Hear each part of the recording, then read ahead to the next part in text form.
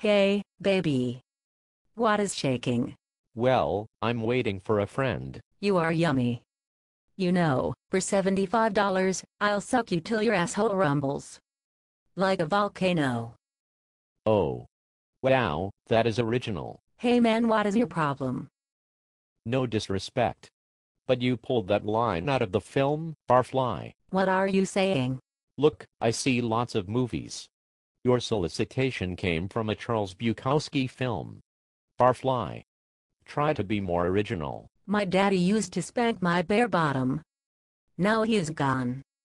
Will you take his place? That's from Risky Business.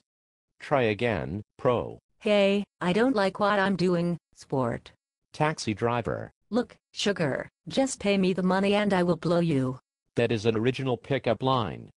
Well done. So let's get it on. I don't think so. And why not?